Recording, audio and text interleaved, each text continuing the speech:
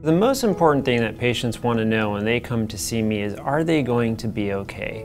We have success rates greater than 90% to restore normal sinus rhythm in patients who've had atrial fibrillation.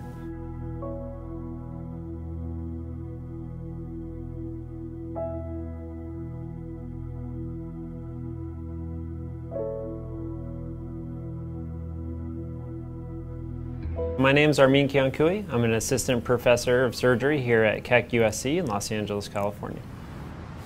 My specialty training is in heart transplantation and advanced heart failure, but I also perform valve surgery and high-risk coronary artery bypass grafting. But what I'm most passionate about is the surgical treatment of atrial fibrillation. So atrial fibrillation is an irregular heartbeat. It's the most common abnormal heart rhythm. It affects nearly 5 million people in the United States. The symptoms of AFib are numerous. They can include palpitations, they can include fatigue, shortness of breath, and even chest pain. The risks for patients with atrial fibrillation are heart failure and stroke.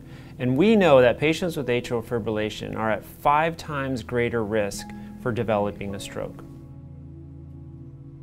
The different approaches to treating AFib include first, medications, cardioversions, or catheter-based ablations.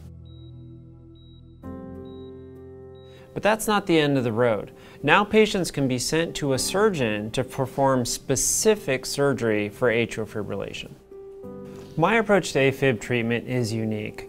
Whether that's an open Cox-Maze 4 or if they're a suitable candidate for a minimally invasive AFib surgery, where often these patients can have these small incisions made with specialized instruments, have their atrial fibrillation treated, and often go home just one or two days after surgery.